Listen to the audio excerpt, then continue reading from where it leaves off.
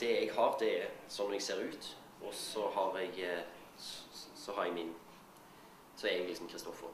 Og stort mer enn det jeg kanskje jeg kommer med. altså noe annet klarer ikke jeg å komme med. Så, så eh, jeg, alle skuespillere er veldig redde sikkert tror jeg for det at man skal liksom gjenta seg sjøl veldig mye. Eh, men det har jeg tenkt altså Det må jeg bare gi opp og si at eh, jeg, jeg tror jeg er ganske lik. Jeg tror nok du ser veldig at jeg, altså, det er samme Altså jeg er jo den samme egentlig, Kristoffer, hver gang på en måte. Men jeg, vi prøver jo med sånn forandring på altså fysiske, kanskje. sånn. Men eh, eh, det er klart det er gøy å høre hvis det går an at man ser oi, der var du veldig annerledes enn enn enn i en annen film. Det er jo gøy å høre, i hvert fall hvis det, hvis det er sånn. Men jeg, jeg gjør ikke noe bevisst for å bli, prøve å være noe annerledes. Jeg må egentlig bare prøve å være veldig meg Jobbe ut fra det jeg har her. Og det er det, liksom. Jeg, jeg klarer ikke å gjøre noe annet. Så jeg,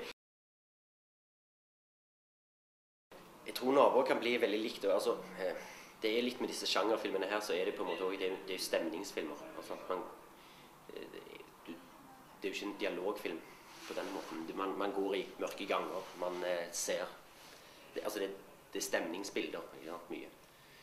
Eh, så jeg tror Altså, nå tør ikke jeg, skal ikke jeg tørre å gjøre det, men hadde, hvis du hadde sett de ved siden av hverandre, de to filmene, så hadde det nok vært mye likt.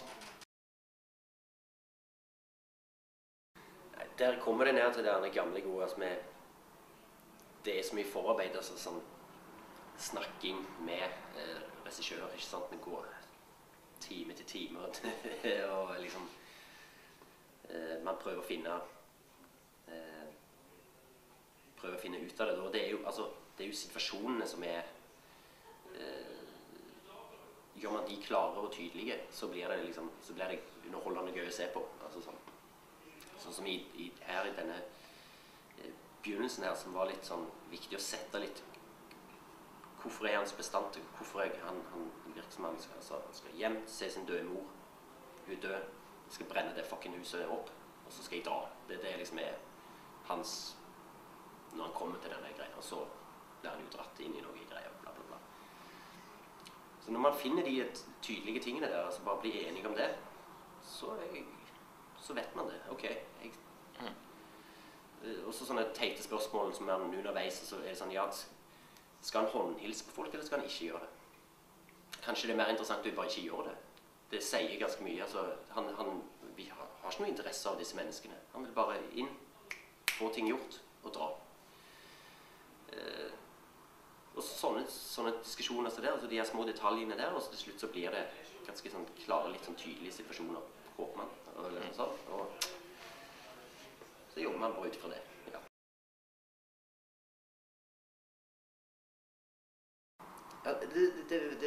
Tricky det med om han skulle være Om KK skulle være redd for Peter, eller om han skulle kjenne Peter. Altså, noen ganger så vil han til Peter, noen ganger så er han litt redd for Peter. Altså, det var litt sånn han, eh, Jeg husker jeg hadde litt Vi diskuterte det mye, og jeg måtte altså, Og jeg er sånn Jeg må, jeg, jeg må spørre. Jeg spør spørsmål hele tiden. De stakkars regissørene de ble jo helt de, Men jeg må, jeg må virkelig skjønne Jeg må skjønne situasjonen hvis jeg skal spille den.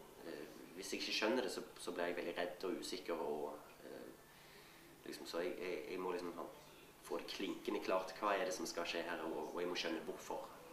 Hvis jeg ikke skjønner hvorfor, så sier jeg ja, men jeg, hvorfor gjør han det? Hvis så får du et svar og sier ja, men hvorfor det? For det, det, det stemmer jo ikke med hva som får eh, Ja, bla, bla, bla. liksom sånn. Bare få det veldig klinkende klart. Det er uh, veldig viktig for meg.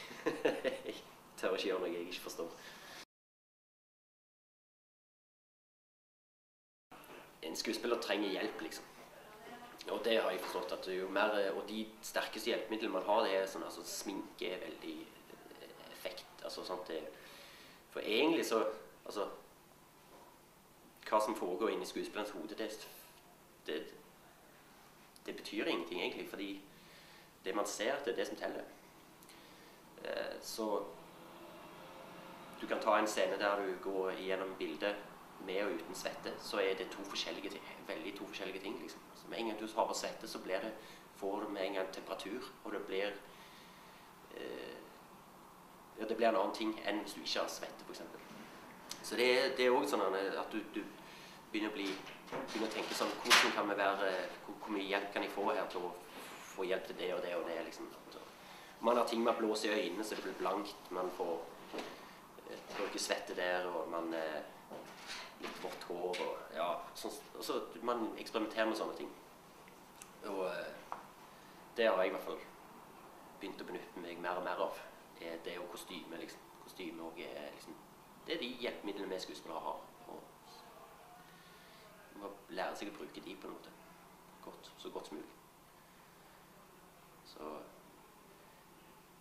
Hva er egentlig method acting? Eh, det at du skal eh, gjenoppleve en tilsvarende scene fra livet ditt som du hadde vært veldig redd i barndommen. At du skal gjenoppvekke den den. og faktisk bli redd på ordentlig i det. I, i øyegreiene. Ja. Det er jo eh, jeg, tror, jeg tror alle har øyeblikker der da du får en liten touch av eh, method acting. Det er klart at eh, noen ganger så kan man kan du få det. Du kan Kanskje ikke akkurat skrekk, men eh, triste ting, f.eks. Da har jeg kanskje brukt det. Men eh, Men jeg er ikke noe sånn eh, at jeg kan At jeg sånn bringer det fram. Det tror jeg ikke. Men jeg vet Jeg er vel kanskje mer litt sånn at jeg vet at hvis jeg har av erfaring Hvis jeg gjør litt sånn med ansiktet, så ser jeg skremt ut. altså, da, da ser karakteren redd ut, f.eks. Eh, og hvis det funker, hvis, det, hvis man får følelsen at han er redd da, så er, hvis det funker, så ja, det er litt mer sånn, tror jeg. ja.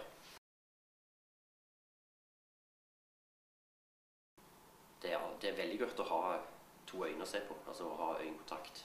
Eh, det, det, det blir med en gang litt annerledes når du får merker du skal se på. Liksom, at du ikke får Det er en klar fordel med et menneske.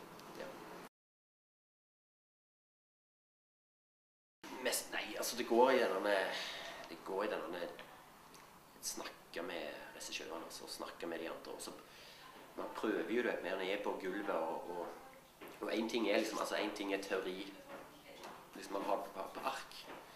Men med en, gang, med en gang du skal opp og gjøre det på gulvet, så oppdager du ting. Så skjer ting. Derfor er prøvetiden er jo Det er jo der det meste av de kreative tingene skjer. på en måte.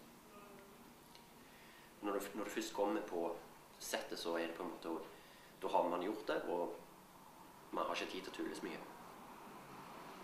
I hvert fall ikke i norsk, norske budsjetter eh, tillater ikke sånne ting. Så da har man liksom egentlig, ideelt sett så har man øvd det inn sånn at man, man vet hvor karakteren skal Han er der, og han skal bort dit. Og man har øvd det inn, og man kan det.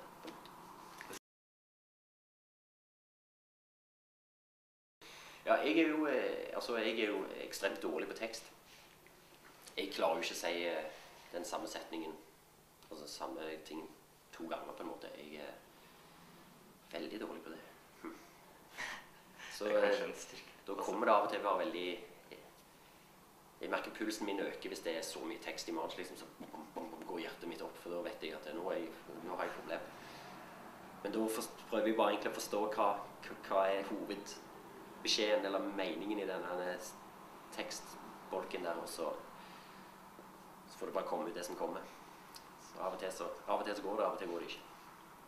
Så ja, det er vel litt improvisasjon der. Men det er jo det er ikke så mye improvisasjon egentlig på eh, når man, når man skyter, altså, fordi eh, man har ikke tid til det nesten. Altså, det, det er jo ekstremt vanskelig. Improvisasjon er jo òg at da, det er liksom kanskje bare 10 av det som funker.